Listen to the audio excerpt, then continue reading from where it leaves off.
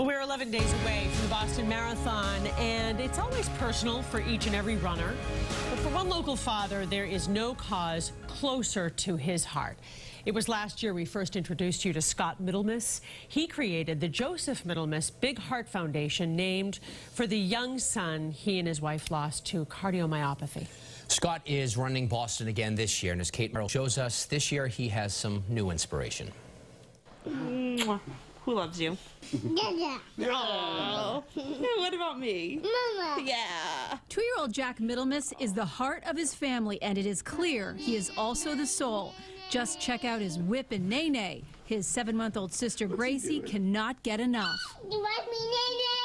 Despite his big smile and even bigger personality, this small boy is facing a huge battle. He needs a new heart. He has hypertrophic cardiomyopathy and is waiting for a transplant. His older brother Joseph died at the age of six from cardiomyopathy when Jack was just a month old.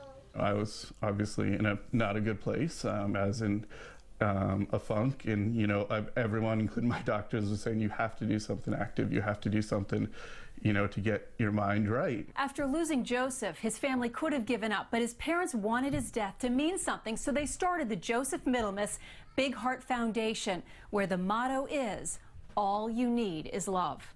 It gives us an outlet, I think, of hope. It allows us to carry on not only our son's um, memory, but everything, his legacy, what he taught us. And for the second year in a row, Scott Middlemiss is running the Boston Marathon for his foundation. But Jack knows the real inspiration.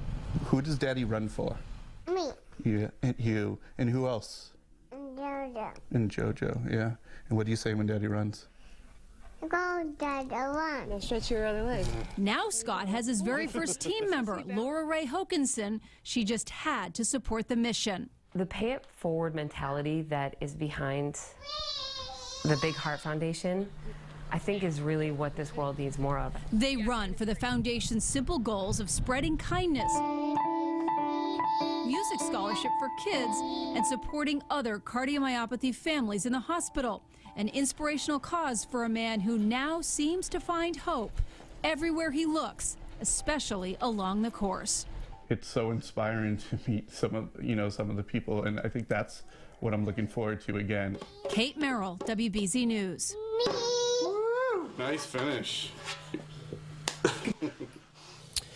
And while both boys have the same disease, sister Grace does not. Her heart is actually healthy. WBZ is the only place where you can see wire-to-wire coverage of the 2016 Boston Marathon. You can join us on Monday, April the 18th for all the action. Of course, we'll have all the interviews with the big winners of the day, and then, of course, we'll bring you the stories, the interviews with people like Scott, who are running it for such uh, emotional reasons. It's tremendous.